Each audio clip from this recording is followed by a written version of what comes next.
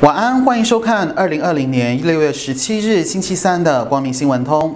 新冠肺炎疫情目前渐渐受到控制，不过对于槟城人民来说，目前除了要全力防疫，还有二防是不容放松的。所谓的二防，就是防骨痛热症及肌孔肯雅症。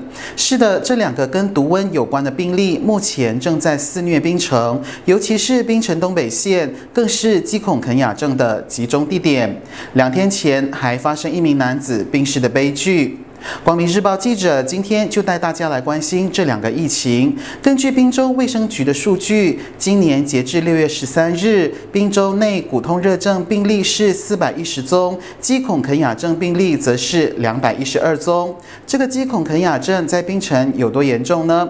看回去年的数据就可以知道了。去年全滨一整年只发生一宗肌孔肯雅症病例，然而在今年首六个月，槟城东北县就有两百一十二宗的。投报两天前，也就是本月十五日，一名居住在龙尾的华裔男子，也因为肌孔肯雅症而病逝。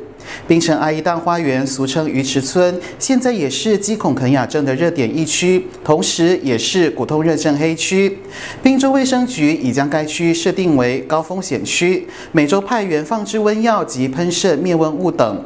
根据升旗山区国会议员黄汉伟说，至本月十三日为止，滨州内十五个地区发生基孔肯雅症病例，当中以阿依蛋花园鱼池村、打枪埔祖屋区和打枪埔边界路。Lorong Sempatan 的情况最为严重。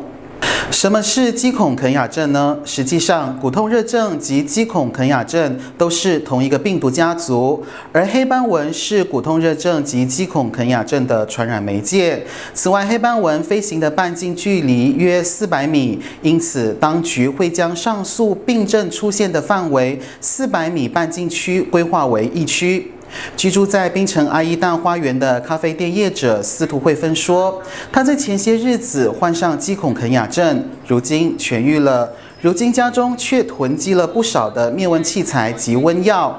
他说，他在五月八日被诊断患上肌孔肯雅症而入院，虽然如今出院了，不过骨头关节还是疼痛，让他吃不消。他说，那种痛是难以用言语形容，就是痛的连你躺着不动也会痛的那种情况。光明日报在这里提醒大家，在目前全面关心新冠肺炎疫情之际，也千万不要忘记居家环境的清洁卫生，以免感染鸡孔啃牙症。来看我国的博彩业。关了三个月后，万能、多多及大马彩今天也获准重新营业了。不少投注客一早就到投注站下注。在目前抗疫期间、经济衰退之时，大家心里也还住着发财梦。根据记者观察，投注站今天重新营业，但业者及投注客都是遵守 SOP。投注客进入前都测量体温、双手消毒、登记资料及保持社交距离。投注客张先生说：“向来都有买少少的习惯，已经关了三个月，今天重开一定要来买一些，有买才有希望嘛。”嗯，赢啊！明早同早早早啊，几三几年做上啲嘅咯。嗯那下边讲想看到伊人成老朋友嘅话，有啦，关系啊，熟悉啊，熟悉啊啦，看到大家健健康康，咪是真欢喜啦。对啦，你好啦。嗯哼，哎，happy 就好啦，哎，happy 就好啦，有有买有希望啦，对。啊，买几两布啦，几两布啦，嗯哼。新闻通结束前，也给读者带来国防部长对堂食 SOP 的另一项放宽。国防部长拿督斯里伊斯曼沙比利今天在汇报会上说，政府不再限制餐厅大桌不可坐超过四个人，但前提是需要有足够的社交距离。他说，如果桌子可以容纳十个人，那张桌子可以坐十个人，但前提是需要有足够的社交距离。今天的新闻就为您播到这，感谢你的点击收看，我们明天见。Thank